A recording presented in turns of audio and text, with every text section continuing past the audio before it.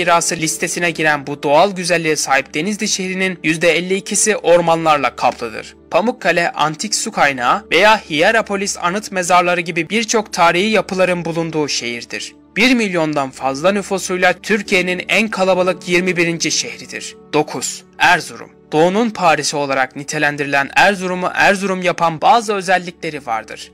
Örneğin Erzurum'da bulunan Palandöken Kayak Merkezi kar kalitesi ve uzun pistleriyle dünyanın en önemli kayak merkezlerinden biridir. Çifte minareli medreseler, Tortum Şelalesi, Kadayıf dolmaları ve meşhur Baro